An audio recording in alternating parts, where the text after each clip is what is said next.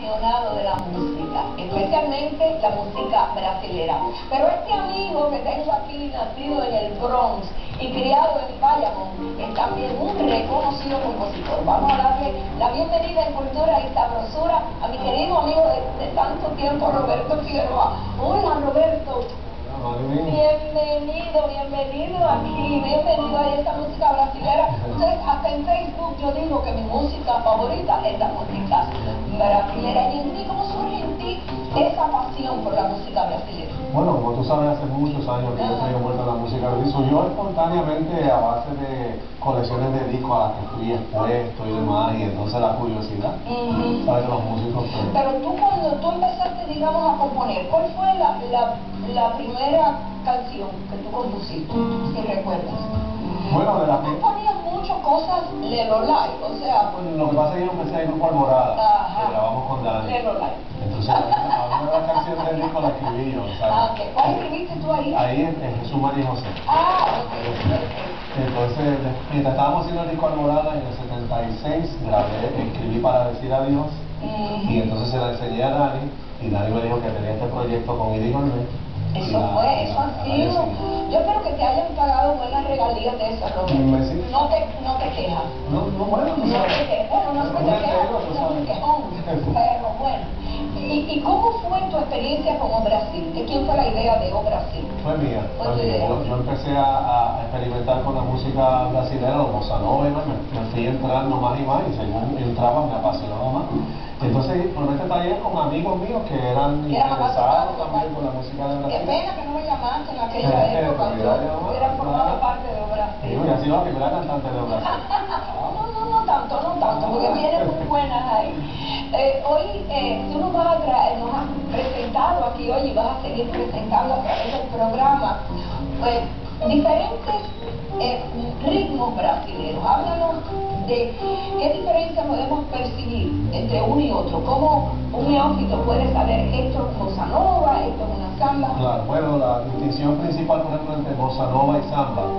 Eh, el samba normalmente es un conjunto o una términos de composición no es muy diferente a la bossa nova, excepto que la bossa nova tiende a tener temas un poco diferentes que los de la, el samba. Y la bossa nova es más simplificada. Los conjuntos son grupos pequeños, solistas, o, conjuntos de jazz. Es la diferencia. En, la, bossa nova se, oye mucha guitarra y mucha voz. En, en, el samba se oyen muchos tambores, muchos coros, mucho, mucho más animado, mucho más dinámico. Ok, y mira, eh, Roberto, ¿tú piensas que la época de oro de la música brasilera, digamos, en Puerto Rico e inclusive a nivel mundial, ha pasado? Bueno, ¿Ha decaído mucho o es que ha evolucionado? O...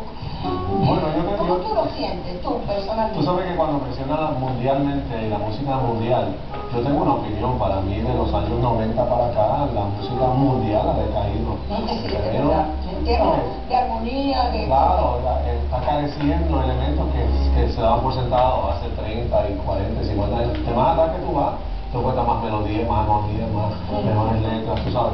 Este, no es por criticar lo que está pasando hoy día, pero la música brasilera este, tuvo su apogeo en los 70, 80, cuando los grupos de pagones, cuando el tropicalismo, la bossa nova en los años 50.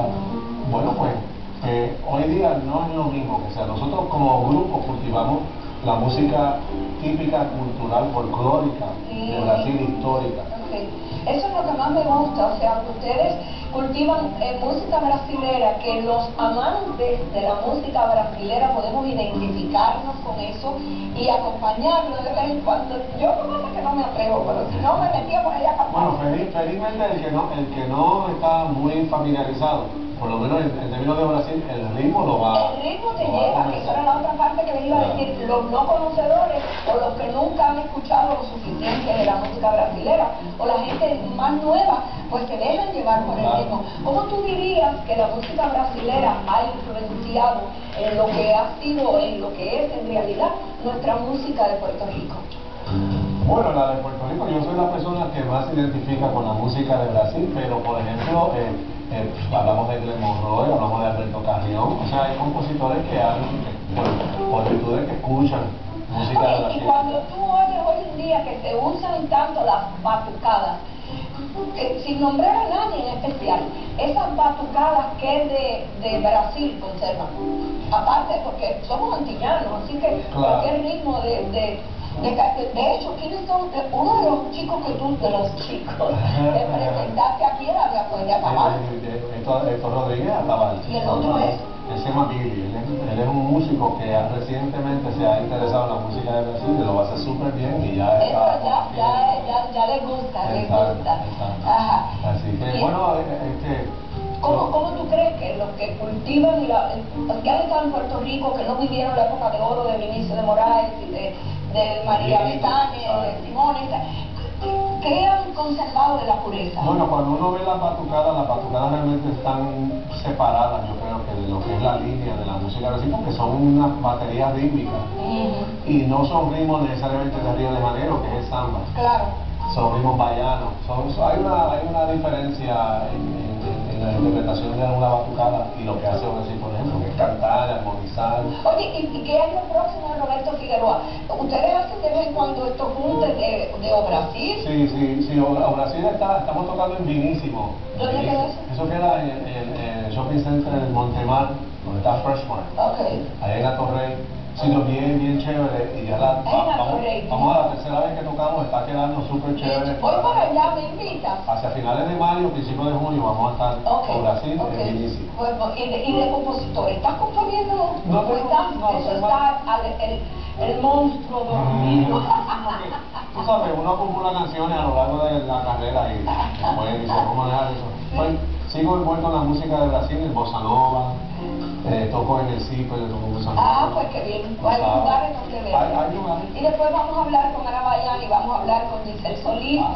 Porque es bien interesante lo que ellas tienen que aportarnos. Así que muchísimas gracias, Gracias a Roberto, ti, por acompañarnos siempre, en siempre. Cultura y Sabrosura. Y vamos a continuar con los ritmos brasileros. ¿Qué melodía nos va a interpretar? Porque aquí hay que trabajar, aquí hay que le sacar el jugo. Bueno, aquí vamos a hacer, por ejemplo, eh, Si você quiser, que canta Ana. Euque. Eh, Euque. ok. Eso ahora vamos. Sí hacer cuál es el segundo lugar. ah, ah, creo que creo que canta canta eh, o me ahí. Gracias, gracias. Gracias a ti, Roberto. Y continuamos el- con la voz y la melodía de la música brasilera de O Brasil.